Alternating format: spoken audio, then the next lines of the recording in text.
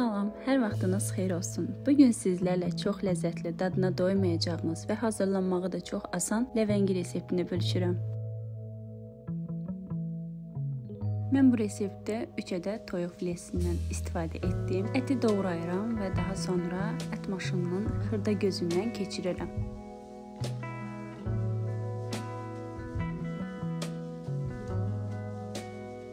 Və eyni qaydada bir böyük soğanı da ət maşından keçirdirəm. Daha sonra ətlə birlikdə duzunu, istiotunu əlavə edib qarışdırıram. İçliyi üçün 2 böyük boy soğanı maşının xırda gözündən keçirdirəm. Soğanın suyunu sıxmaq üçün xırda gözlü süzgəcdən istifadə edirəm. Soğanın suyu qalarsa əgər bu zaman içlikdə xoşa gəlməz acılıq tamı verər və bu da ki, yeməyimizin dadını tamamilə dəyişər. 2 soğandan çıxan su məhz budur.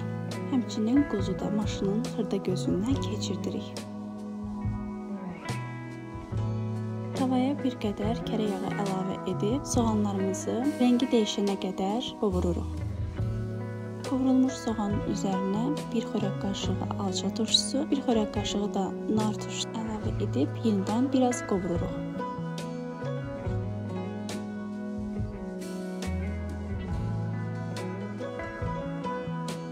İçliyin daha da dadlı olması üçün biraz zirənci əlavə edib yenidən qovururam. Və sonda qozu da əlavə edib qarışdırıb biraz qovurduqdan sonra duzunu da əlavə edib qazın üzərindən götürürəm.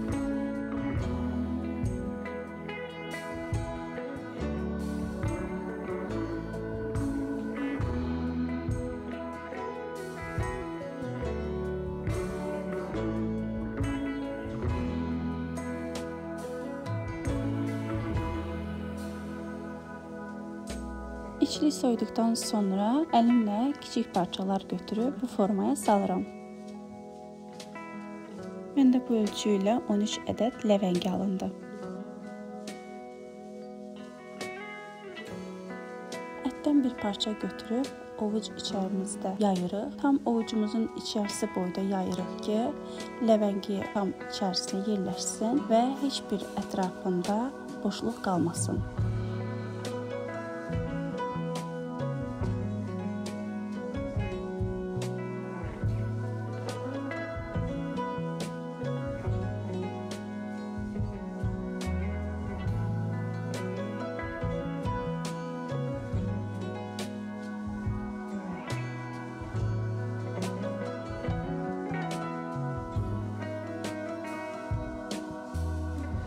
Hazır olan ləvəngi kotletini suxariyə bulayıram.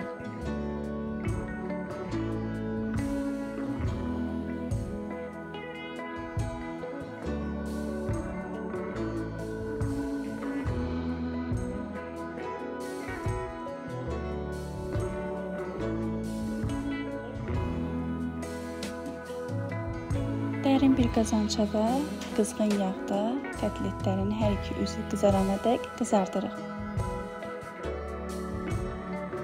Videonu bəyənib, rəydə fikirlərinizi bildirməyi və yaxınlarınızla bölüşməyi unutmayın. Növbəti reseptlərdə görüşmək ümidi ilə.